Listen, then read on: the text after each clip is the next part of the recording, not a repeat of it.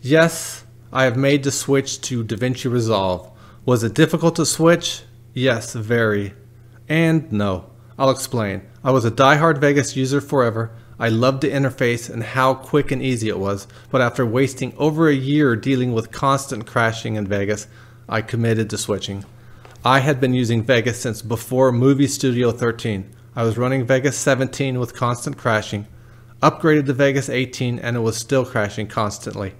I tried a trial version of Vegas 19 and it crashed just as much as the previous version. The last video I made using Vegas 18 was so incredibly painful I would have to save after every change, constantly hit Control Alt Delete after every freeze, literally every couple minutes. I had dabbled in DaVinci during that time, but I would quickly get stuck and then give up and go back to using Vegas. But after I had written five or six customer support tickets to Magix, they would take a long time to respond and the advice was very generic. Also during that time, I replaced most of the hardware in my PC thinking it was some piece of hardware that Vegas didn't like. I replaced my CPU, motherboard, memory, video card, added a second SSD, several clean installs of Windows 10, ran stress tests, memory tests, spent countless hours trying all the settings in Vegas, including the internal settings accessed by holding the shift key. I even made a spreadsheet of the settings trying to methodically test each setting and record if it helped or not. I watched every video I could find on how to fix the crashing in Vegas, read forums. Nothing worked and I had finally had enough. I flipped the switch and I was officially done with Vegas. This was the trick to force myself to learn DaVinci Resolve. Once I was committed in my mind, I learned to do basic edits in DaVinci fairly quickly.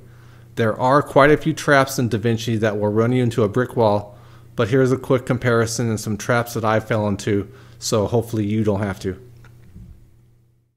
Disclaimer, I'm just starting to get comfortable with DaVinci Resolve, so I'm probably showing you not the best way to do stuff. Two YouTube channels I recommend you check out. The first one is Casey Faris. This guy has really good tutorials. And the other one is this Learn Color Grading. This is uh, pretty amazing what this guy can do with the color grading. So this is advanced stuff, but it'll give you a good idea of just how powerful this program can be. So importing media into Vegas is super easy. Just import media, pick your folders. Super easy. Once you have it in there, you can just open in the trimmer. You can find the spot that you like. Highlight a little bit of it. Drag it down. And then you can even, this is, I like this feature. You can set your cursor, then you can just drag that down. I mean, you can really throw some stuff down into your timeline super fast. I mean, you can just, so that's Vegas. So here's DaVinci Resolve, and it's quite a bit different than Vegas. So down here at the bottom, this is kind of the progression that you're supposed to go through as you create your video. So this is the media, this is the, the uh, cut, and I don't use this tab, but you're supposed to just quickly grab the parts you want in here. But I find it's not zoomable and I just don't really like this. So I just go over to the edit. I believe that's what this is called, right? Edit, yeah. And then let's say, it, and DaVinci doesn't have a trimmer like Vegas, at least not one I can find. Um, but if you double click on one of your video files and then you kind of view it through here, and then you just have to use the uh, in and then the out and then you can drag it down. So that's one way uh, that DaVinci and Vegas are quite a bit different. Um, you get used to it though. And then uh, further on, just to complete this, this is the Fusion and you can do crazy effects with this. And then you have uh, the color, uh, color editing, color correction. This is again crazy powerful. And then you have the Fairlight, which is this is how you uh, tweak all your audio settings. And then once you're done with all that, once you've gone through the steps, you, you render your video out. So that's kind of cool. So here's some major workflow differences. Um, so let's say you have this video file here and you want to get more from that clip. So you can right click, open in trimmer, and it'll open up right where you are on the timeline. And then you can use your mouse wheel to zoom out of the trimmer and grab a different section over here. You can zoom way out and go all the way over here and just drag it down. So that's how it works in Vegas and I got really used to it and I really liked it. So DaVinci was a bit of a learning curve.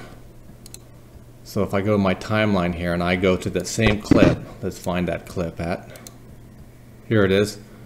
And so in DaVinci you can have just your timeline window or you can have, uh, this is I guess DaVinci's trimmer, their version of their trimmer.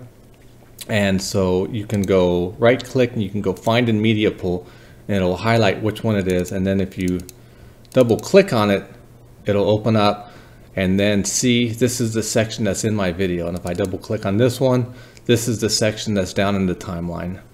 Double click on this one, this is the section I took. And if you wanted to get another section out of there, you'd have to hit in and then out, I and O and then I could drag it down. But you can't zoom, right? I don't know. It's it's just different. I'm getting used to it, but I think I like the Vegas version better, but I'm sure eventually I won't even care.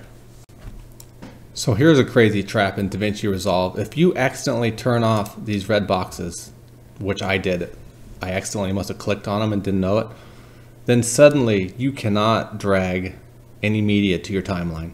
You get this uh, circle with the slash through it. And I was like, what the hell did I do? Well, turned out you have to have the red boxes on at least one of your tracks. And then you can drag it right over there. That is a crazy trap.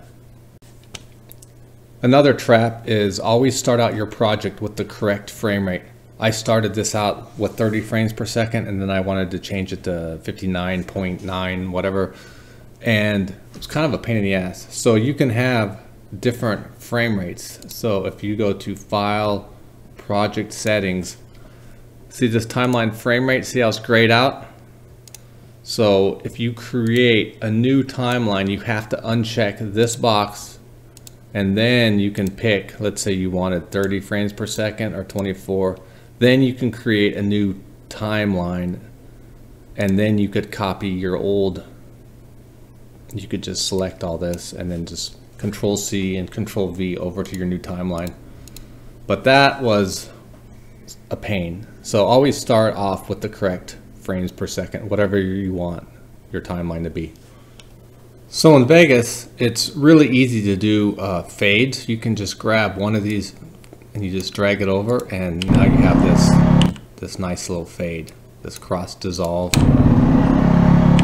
super simple so in DaVinci Resolve even doing simple things like a cross dissolve took me a little bit to figure out uh, mostly from watching videos on how to do this stuff but there's one way you can do it is you can go to the effects and you can just kind of drag it in there and then um, if you have enough, you have to have enough extra length on the beginning and end of the of the video file, and then you can just make it longer. So that works pretty good.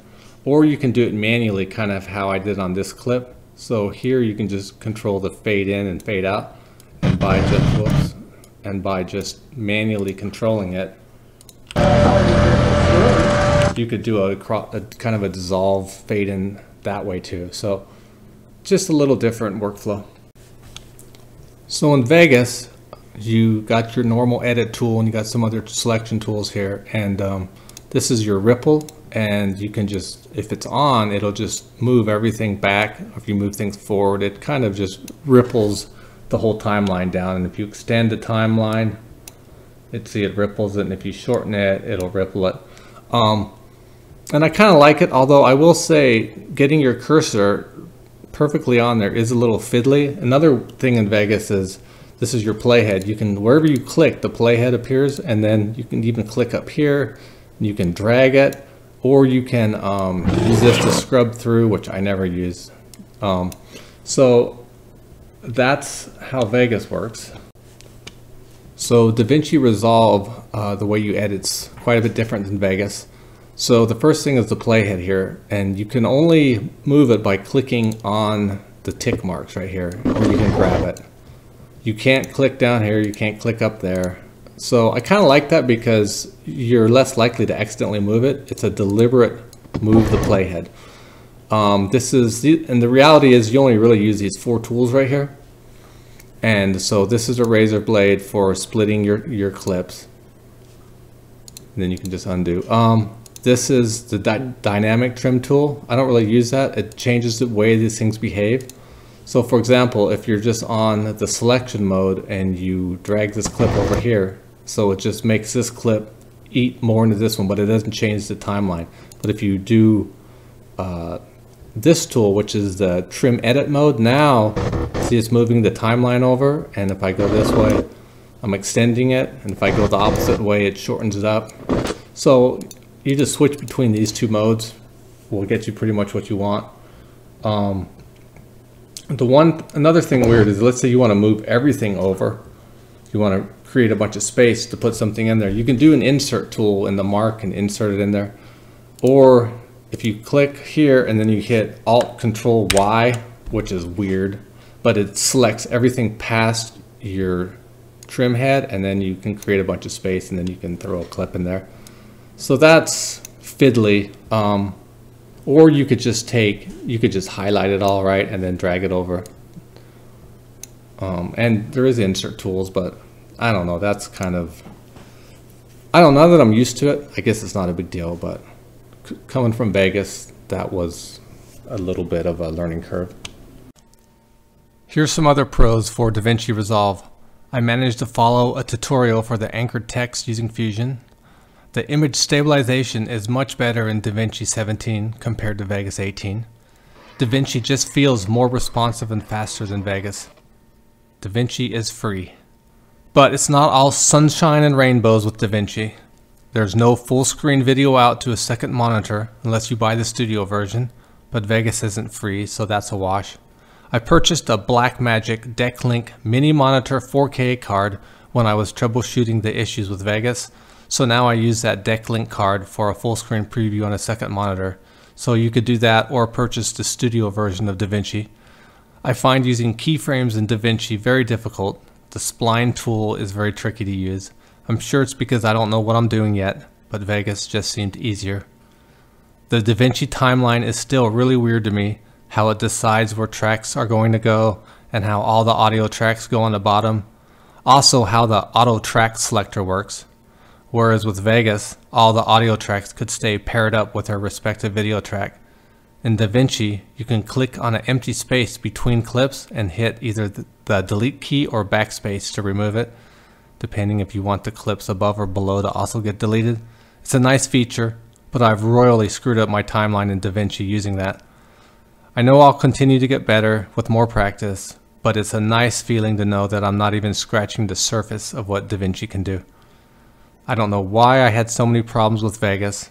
Does Vegas hate AMD processors? I don't know. I can't imagine other Vegas users having all the problems I had. All I know is with the same video files on the same computer, DaVinci Resolve ran stable and Vegas didn't. So if you're looking for a change or looking to grow, I can definitely recommend you give DaVinci Resolve 17 a try.